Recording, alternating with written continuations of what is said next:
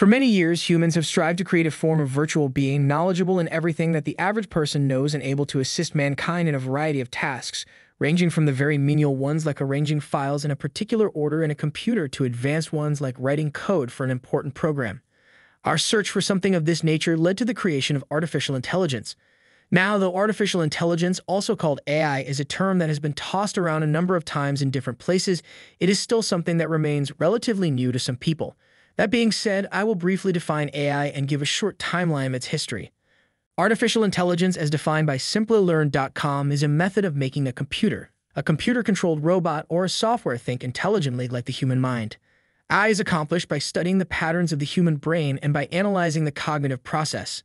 The outcome of these studies develops intelligent software and systems.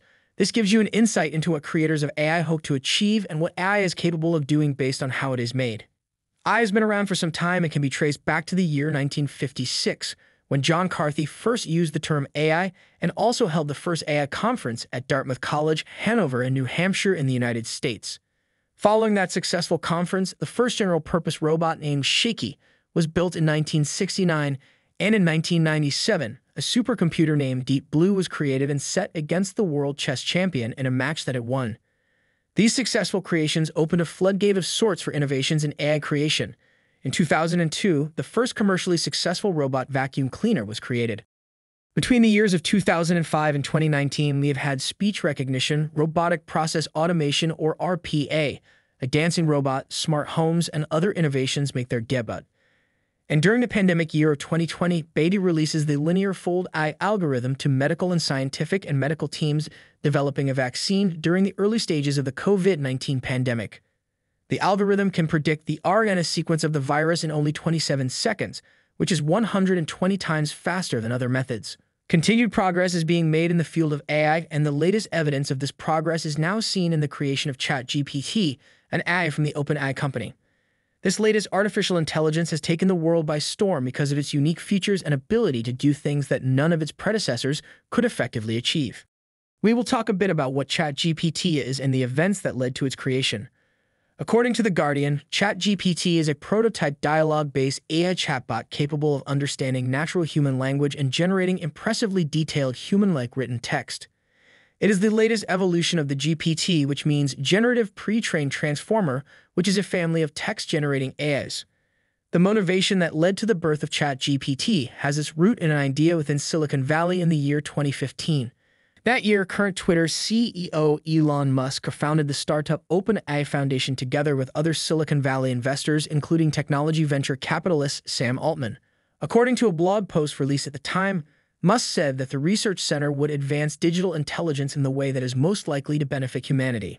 Meanwhile, Musk has since left the board of the foundation after it was discovered that OpenAI was accessing Twitter's database for training, but this hasn't stopped the foundation from making giant strides in AI creation, with ChatGPT being its most significant work. Concerning how it works, the system is designed to provide information and answer questions through a conversational interface. The AI is trained on a huge sample of texts taken from the internet. In a statement from the research body, OpenAI said, and I quote, the dialogue format makes it possible for ChatGPT to answer follow up questions, admit its mistakes, challenge incorrect premises, and reject inappropriate requests. Meanwhile, users of the chatbot have begun giving their opinions on its possible uses, with many seeing it as an alternative to Google because it is capable of providing descriptions, answers, and solutions to complex questions, including ways to write code and solve layout problems and optimization queries. This has gotten the alarm bells ringing at Google's headquarters, but I will talk more about that later in this video. Some applications of the chatbot include generating content for websites, answering customer inquiries, providing recommendations, as well as creating automated chatbots. Sam Altman, who was one of the co-founders of the research body behind ChatGPT and who is now its CEO, said that the system was an early demo of what's possible. He continued by saying, Soon you will be able to have helpful assistants that talk to you, answer questions, and give advice. Later, you can have something that goes off and does tasks for you. Eventually, you can have something that goes off and discovers new knowledge for you. Owing to the innate ability of humans to exploit, these useful applications outlined by Altman have been manipulated by people to suit their needs.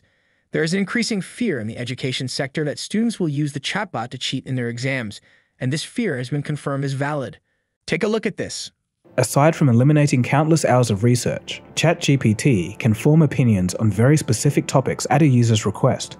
This is something that no search engine can do. But that's just the beginning, it's much more than that. There's a bountiful amount of reports from around the web of people using ChatGPT to cheat on exams, from statistics to history.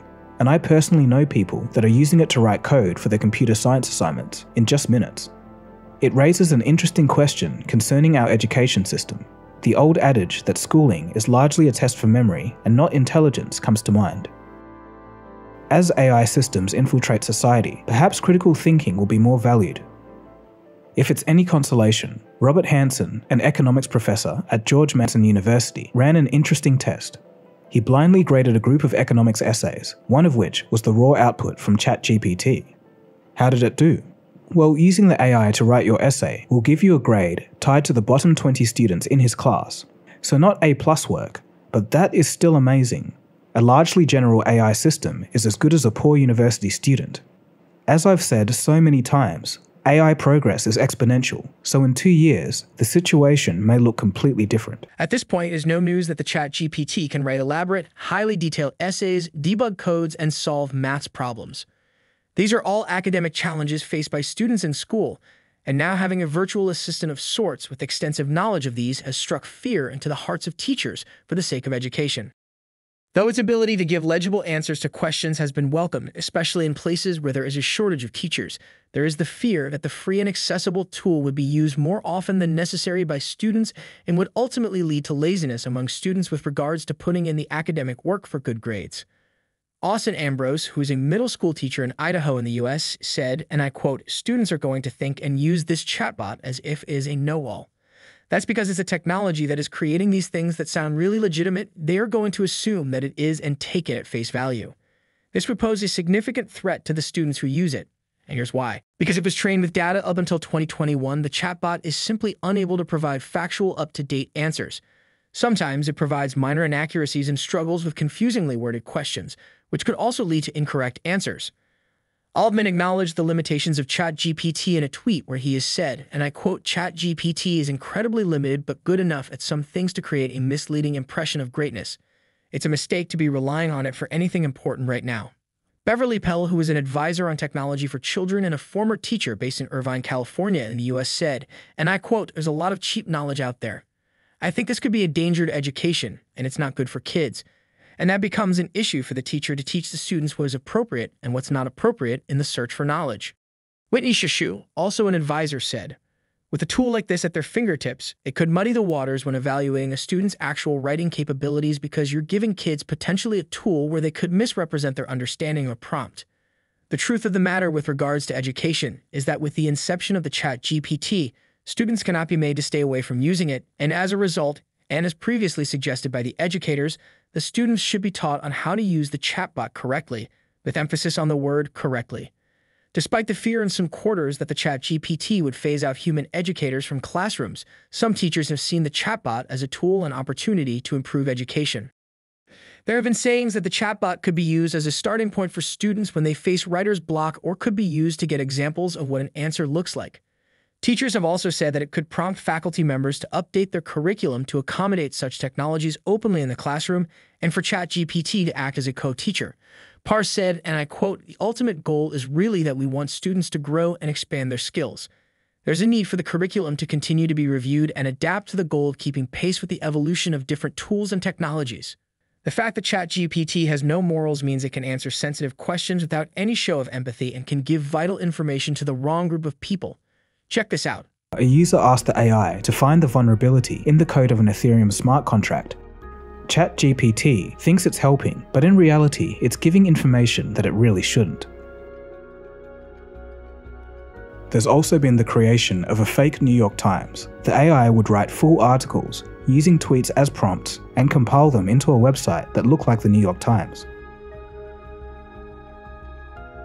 One user decided to push the system and remove safety limits, the AI was then able to explain how to make a Molotov cocktail, and this was in the form of a step-by-step -step tutorial, something that obviously is a violation of OpenAI's content policy. When it comes to the issue of scam emails, we all know that a big red flag is a fact that most of those kind of emails are poorly typed. But with the introduction of the chat GPT, this might phase out as the chatbot can type these phishing emails correctly and legibly without even knowing of its involvement in a potential scam. If scammers utilize this service rendered by ChatGPT, it could cause a massive problem that would have caused significant damage before being solved. Now even Google is alarmed at the threat ChatGPT poses to the company, and their fear is valid. Before the advent of the ChatGPT, Google had been the point of contact, the all-knowing search engine that was the hope of the common man. But the traction which ChatGPT has gained since its release has shocked the tech giants and forced them to consider a complete overhaul of its AI applications. You see, Google thinks that the ChatGPT would open the door for better AI chatbots that would ultimately erode the use of Google's search box, thereby forcing them out of the search engine business. Speaking to the What Next TV podcast, Alex Kantrowitz, who is the founder of Big Technology, said, and I quote, It's not going to replace search. But even if it takes 5% of Google's market share, that's a huge number. And if a single chatbot can slash a big tech's market share by 5%, you can imagine what would happen when more improved versions of that chatbot come into the market. In all these, an inevitable yet sad event is that some people will lose their jobs because of this, and certain professionals will become ineffective in the labor market as their duties will be taken over by AI. The question now is how will people be reabsorbed into the labor market to avoid an increase in the unemployment rate? Besides, despite the applaudable advancements in AI creation, there are just some things that only humans know how to do best.